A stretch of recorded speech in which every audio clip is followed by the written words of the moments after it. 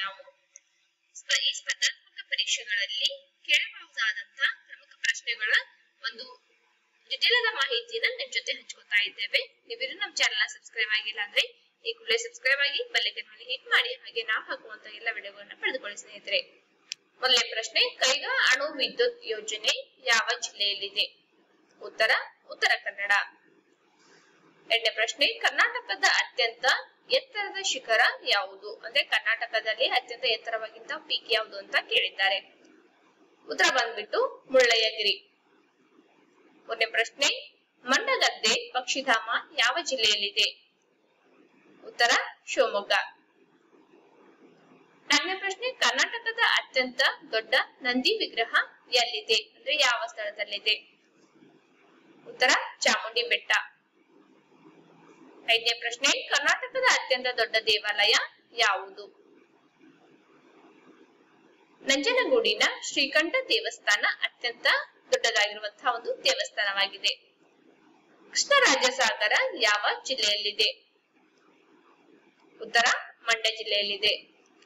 ನವಿಲು ತೀರ್ಥದ ಬಳಿ ಯಾವ ನದಿಗೆ ಅಡ್ಡಲಾಗಿ ಅಣೆಕಟ್ಟನ್ನ ಕಟ್ಟಿದ್ದಾರೆ?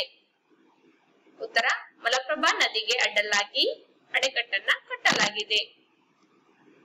ಎಂಟನೇ ಪ್ರಶ್ನೆ, ರಾಜೀವ್ ಗಾಂಧಿ ರಾಷ್ಟ್ರೀಯ ಉದ್ಯಾನವನ ಎಲ್ಲಿದೆ? ಉತ್ತರ, ಕೊಡಗು ಜಿಲ್ಲೆಯ ನಾಗರಹೊಳೆ.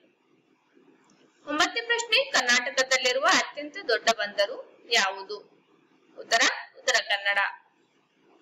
ಹತ್ತನೇ ಪ್ರಶ್ನೆ, ಕಾವೇರಿ ನದಿ ಯಾವ ಜಿಲ್ಲೆಯಲ್ಲಿ ಉಗಮವಾಗುತ್ತದೆ?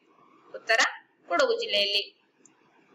ಚಂದ್ರಯಾನ ಎರಡು. ಚಂದ್ರಯಾನ ಯಾವ ಧ್ರುವಕ್ಕೆ ಇಳಿಯಬೇಕಿತ್ತು ಅಂದ್ರೆ ಚಂದ್ರಯಾನ ಉಡಾವಣೆ ಮಾಡಲಾಯ್ತಲ್ಲ, ಅದು ಯಾವ ಧ್ರುವಕ್ಕೆ ಇಳಿಯಬೇಕಾಗಿತ್ತು ದಕ್ಷಿಣ ಧ್ರುವಕ್ಕೆ ಇಳಿಬೇಕಾಗಿತ್ತು ಹನ್ನೆರಡನೇ ಪ್ರಶ್ನೆ, ಯಾವ ರಾಕೆಟ್ ಸಹಾಯದಿಂದ ಚಂದ್ರಯಾನ ಎರಡು ಉಡಾವಣೆಯಾಗಿದೆ? ಉತ್ತರ ಜಿಎಸ್ಎಲ್ವಿ ಎಂಕೆ ತ್ರೀ. ಹದಿಮೂರನೇ ಪ್ರಶ್ನೆ, ಚಂದ್ರಯಾನ ಎರಡು ಉಡಾವಣೆಯ ಉದ್ದೇಶವೇನಾಗಿತ್ತು? ಉತ್ತರ, ನೀರು ಮತ್ತು ಖನಿಜಗಳ ಅಧ್ಯಯನ, ಚಂದ್ರನ ಮೇಲ್ಮೈ ಪರಿಶೀಲನೆ, ಚಂದ್ರನ ವಾತಾವರಣದ ಬಗ್ಗೆ ಅಧ್ಯಯನ ಮಾಡುವ ಕುರಿತಾಗಿ ಈ ಉದ್ದೇಶದಿಂದ ಚಂದ್ರಯಾನ ಎರಡು ಉಡಾವಣೆಯನ್ನ ಮಾಡಲಾಗಿತ್ತು. ಹದಿನಾಲ್ಕನೇ ಪ್ರಶ್ನೆ, ಚಂದ್ರಯಾನ ಎರಡು ನೌಕೆ ಏನನ್ನು ಒಳಗೊಂಡಿತ್ತು? ಆರ್ಬಿಟರ್, ಲ್ಯಾಂಡರ್ ಮತ್ತೆ ರೋವರ್ ಗಳನ್ನ ಒಳಗೊಂಡಿತ್ತು. ಚಂದ್ರಯಾನ ಎರಡು ಯೋಜನೆಯ ನಿರ್ದೇಶಕಿ ಯಾರು? ಉತ್ತರ ಎಂ ವನಿತಾ ಮತ್ತು ರಿತು ಕರಿವಾ ಕರಿದಾಳ್ ಚಂದ್ರಯಾನ ಎರಡರ ರೋವರ್ಗೆ ಯಾವ ಹೆಸರಿಡಲಾಗಿತ್ತು? ಪ್ರಜ್ಞಾನ್.